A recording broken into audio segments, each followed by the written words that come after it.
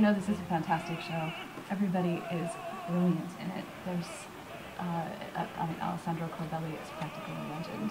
And the way uh, the audiences have been receiving it and the critics have been receiving it, everybody has been just raving about how entertaining and funny it is.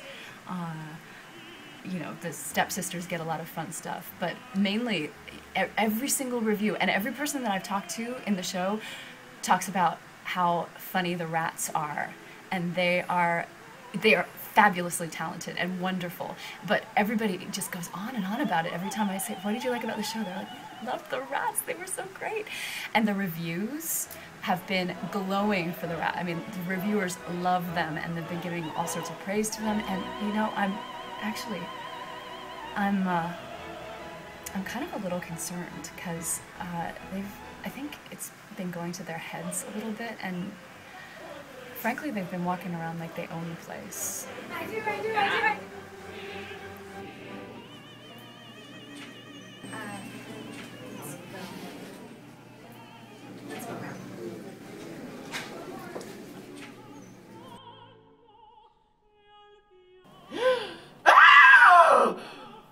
Get out! Bloody rats.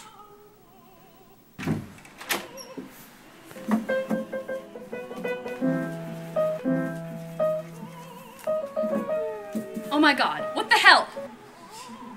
Get out! Get out! Out! See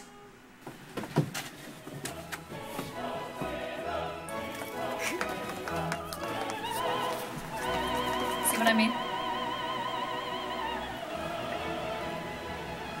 Does anyone have a cat?